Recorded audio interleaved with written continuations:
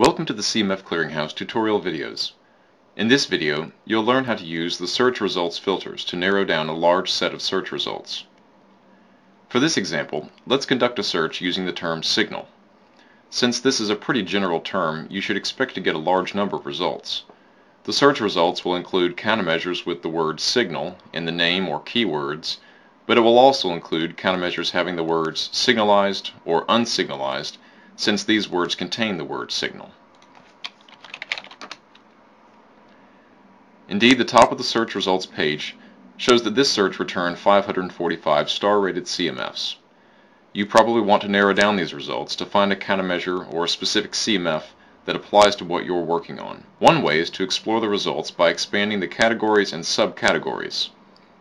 For example, I could click on Intersection Traffic Control category and the subcategory for Traffic Control type. However, another useful way to narrow your results is by using the filters on the left-hand side. The filters allow you to keep only those CMFs that fit a certain set of criteria. For example, the first filter is for star rating. If you'd like to see only those CMFs that are 3 stars and above, check the boxes next to 3, 4, and 5 stars, and click Filter Results down below.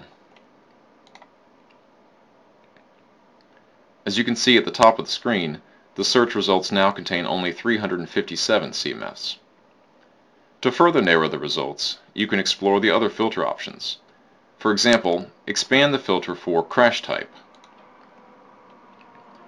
Check the box next to angle and click filter results down below.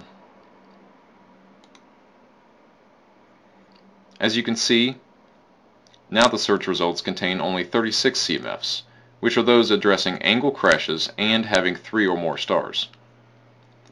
Perhaps you know that you're dealing with an urban area and would like to see only urban CMFs. Expand the filter for area type, check the box next to urban, and click filter results. Now you have 24 CMFs and can expand the categories to see which countermeasures have CMFs that address angle crashes in urban areas and have three or more stars. One more thing, you might be wondering what's meant by the numbers in parentheses next to each filter.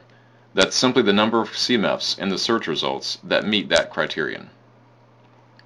Thank you for watching this tutorial video.